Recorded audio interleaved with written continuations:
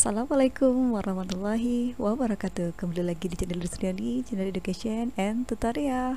Baik tutorial kali ini adalah Kita akan sharing bagaimana cara mengaktifkan Akun Microsoft 365 Di PC atau laptop kita. Bagaimana caranya? Mari kita simak tutorialnya. Yang pertama kita ke browsing dulu ya. Ketika di sini office.com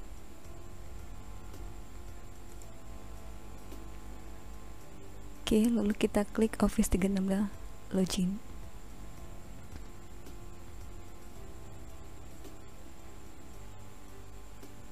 Oke, selanjutnya kita klik beralih ke akun lain.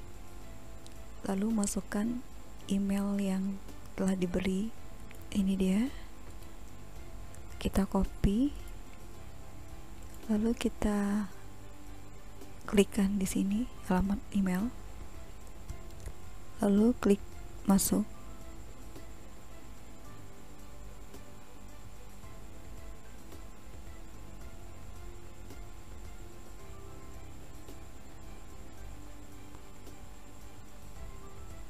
Oke, kita copy.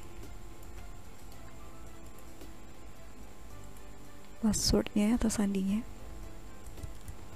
lalu klik masuk.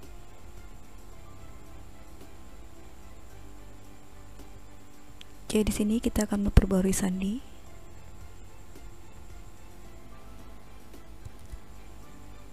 Kemudian kita tuliskan sandi baru.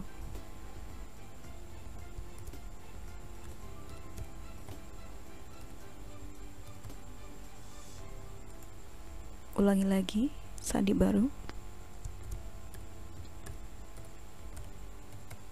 Lalu klik masuk.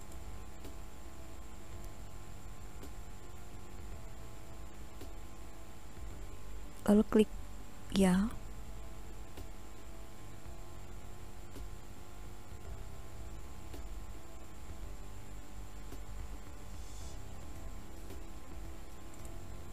Oke, sekarang kita lihat tampilannya sudah seperti ini, artinya kita sudah berhasil mengaktifkan akun Microsoft 365 di PC atau laptop kita.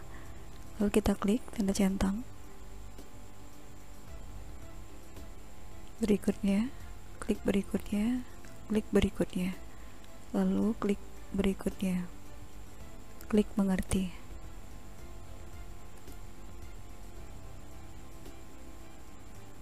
Oke di sini kita lihat ini sudah akun yang baru tadi ya.